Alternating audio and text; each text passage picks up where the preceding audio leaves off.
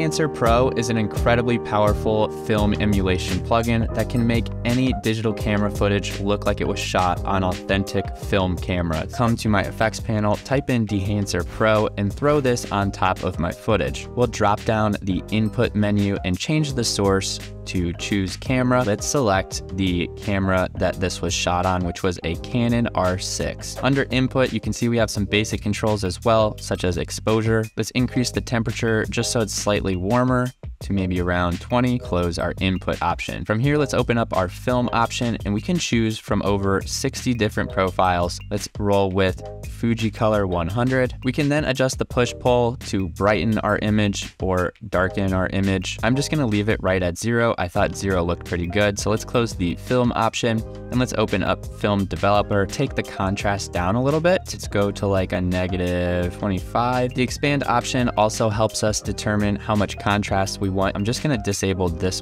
part of the plugin as well because I think the contrast looks good for this scene. Colorhead is going to help us change the hues in our image, so let's enable Colorhead. The first thing I notice about this video clip is that his skin is very deep red. So what we can do with this cyan red option is just steer it more in the cyan direction. Add some cooler tones to the overall image. Let's go around negative five. It might start to look a little bit too blue, especially because this was shot on a warm summer day. Decrease the yellow blue option to make it look a little bit warmer. Let's go to like a negative five. And then there's a ton of green in the shot as well. So let's just add a little magenta into the shot. Adds a lot more red tones to the image. Let's go to like a negative three instead. Now that I'm done editing some of the hues in our image, we can close color and open up my favorite option here, which is the film grain. Maybe we don't want this much film grain. Let's take the amount down about halfway to 10. From here, I think the film grain is still looking a little bit too intense. Let's decrease the grain in the shadows 30%. Let's take the midtones down to 40%. Let's take the highlights down to 30%. And now when we disable this grain, we can really tell the difference over top of our footage. Let's enable the halation option. If we increase and decrease this global diffusion option, we're gonna start to really notice the difference. So let's increase it all the way. Kind of have this soft red glow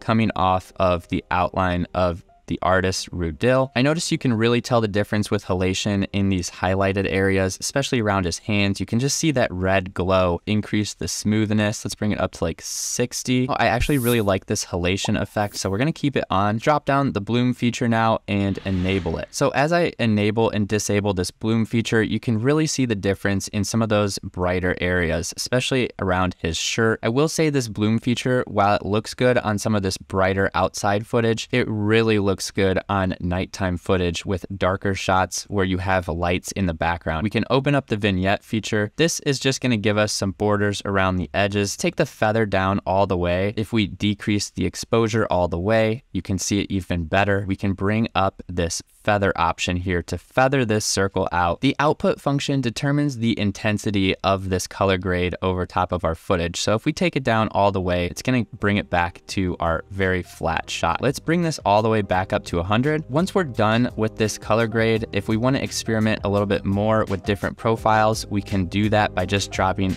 open our profile option Let's select this other one I really liked called Kodak Gold 200. It's going to keep all of the same settings that we already placed on all these other options. That concludes my editing workflow using the Dehancer Pro plugin. If you want to check it out, I'll include a link below down in my description. And if you learned anything at all from today's video, I hope you'll leave me a comment and a like down below. Let me know what you like and don't like about this plugin. I'm really interested to hear what all of you guys have to say. And until next time, I'm Jake Venter. Peace out.